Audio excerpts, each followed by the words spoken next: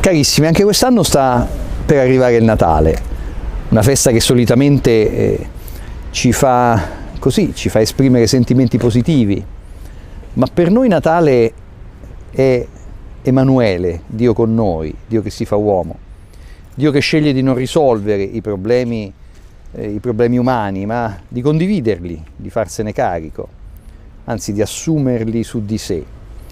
Eh, Natale è il memoriale di tutto questo, eh, non solo un ricordo così, come ricorderemo tanti avvenimenti passati, ma una realtà attuale, che ancora una volta quest'anno diventa attuale e presente per noi.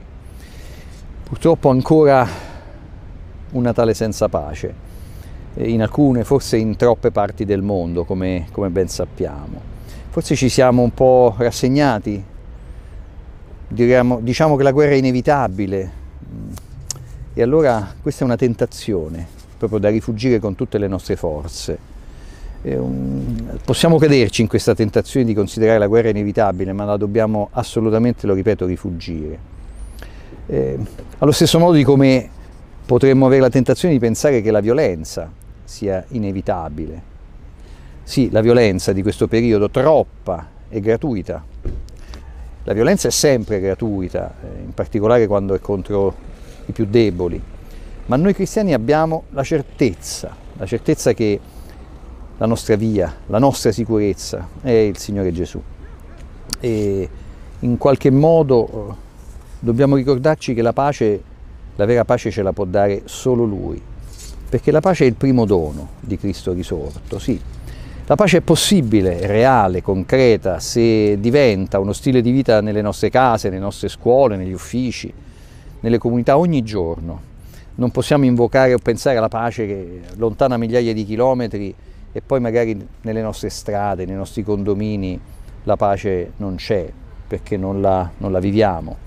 La pace deve essere praticata ogni giorno, ma forse ancora prima che praticata, custodita, seminata, accolta.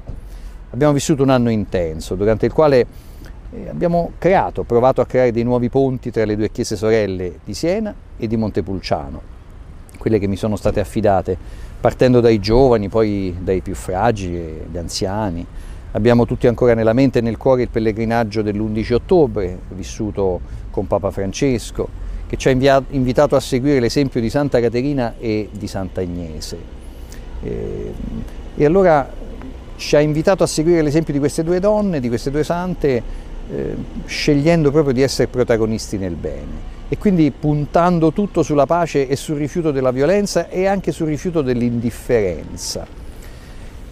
Un anno importante lo sarà anche il prossimo, avremo nei primi mesi dell'anno, a marzo, la cosiddetta visita ad limina, cioè l'incontro di tutti i vescovi delle diocesi toscane con il Papa, un momento di confronto, di ascolto, per dirci quello che stiamo facendo, il cammino che stiamo facendo. E poi c'è la preparazione al Giubileo del 2025 che spero diventi anche quello un momento di grande e forte intensità. E allora chiedo a tutti, vorrei chiedere veramente rivolgermi a tutte le, a tutte le comunità, in particolare penso ai genitori, di continuare ad essere vicini ai propri figli, fin da quando sono molto piccoli, eh, parlandogli di Gesù, della Madonna, senza vergogna, bisogna farlo subito, anche se sembra che così quasi che non capiscano, che non comprendano, ma non è così.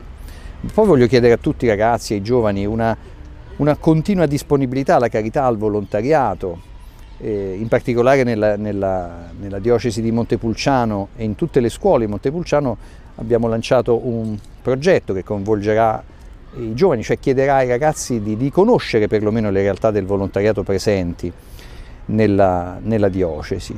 Ho incontrato qualche sera fa le, delle giovani coppie che si stanno preparando a celebrare il sacramento del matrimonio. Ho chiesto anche a loro questa disponibilità alla carità e al volontariato. Chiedo a tutti un deciso rifiuto della violenza, lo ripeto ancora, in tutte le sue forme. E, e, poi chiedo rispetto, solidarietà, amicizia. Sì, lo so, mi direte, queste cose le sappiamo, sono abbastanza scontate, ma non possiamo finire di ricordarcelo, anche e in particolare in occasione di questo Natale. Auguri a tutti.